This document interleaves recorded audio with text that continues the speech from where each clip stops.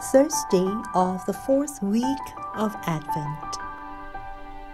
Zechariah asked for a tablet and wrote, John is his name, and all were amazed.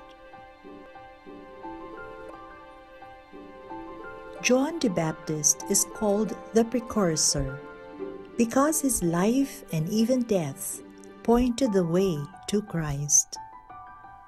True to his name, he was a proof of God's graciousness to us.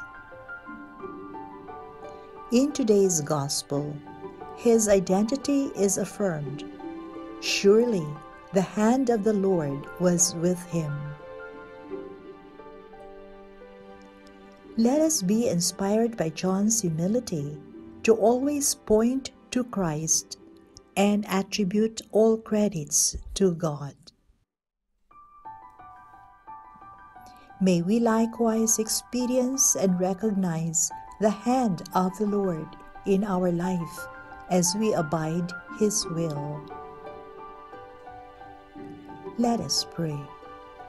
Most gracious Father, grant us your Holy Spirit so we may follow joyfully Jesus, your Son, and lead others to Him.